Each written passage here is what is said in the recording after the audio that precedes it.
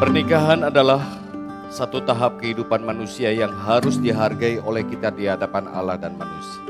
Di hadapan Allah karena pernikahan merupakan salah satu rencana Allah. Di hadapan Allah dan jemaatnya, saya, Calvin Doro Zeus Abdiwijaya, dengan tulus hati dan kesungguhan menyatakan, mengaku dan menerima engkau sebagai istriku. Saya berjanji akan tetap setia mengasihi, melayani, dan mendampingi dalam suka maupun duka, dalam kelimpahan maupun kekurangan, dalam sehat maupun sakit, dan dalam segala sesuatu yang akan terjadi di masa depan. Yang telah dipersatukan Allah tidak boleh diceraikan oleh manusia.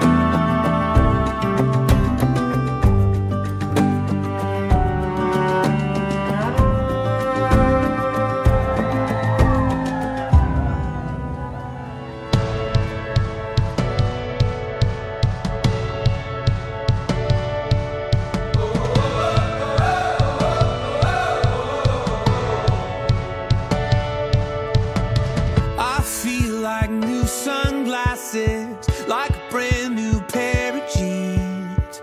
I feel like taking chances. I feel like anything can happen, laughing. You take me right back when we were kids. Never thought I'd feel like this. Like when I close my